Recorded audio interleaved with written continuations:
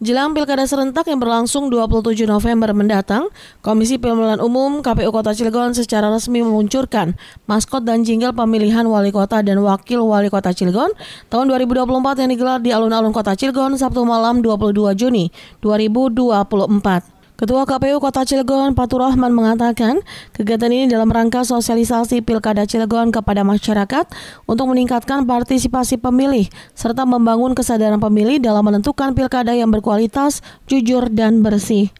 Peluncuran ini juga turut dimeriahkan oleh penyanyi kenamaan tanah air, yakni Astrid dan grup band Raja itu pun berjalan meriah dihadiri ribuan warga.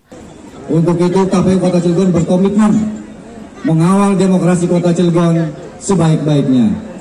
Maka di momen peluncuran jingle dan maskot KPU Kota Cilegon ini, KPU Cilegon juga berharap ini menjadi wadah konsolidasi warga masyarakat Kota Cilegon untuk kita bersama-sama berkomitmen membangun kesadaran pilkada yang bersih dan pilkada yang jujur.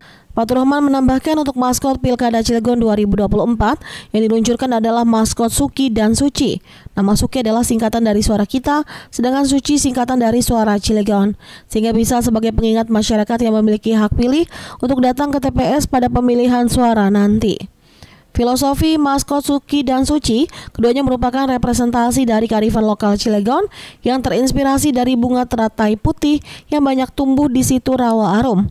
Di bagian mahkota dan rambut ini menyimbolkan kejujuran dan kedamaian dengan pakaian khas Cilegon lengkap dengan atribut bergambar landmark dan sepatu boot yang menyimbolkan kerja keras dan kearifan lokal di wilayah industrinya yang menggambarkan pilkada bermartabat yang jujur dan penuh damai. Aliandra Ibrahim, jurnalis Banten TV dari Cilegon memberitakan.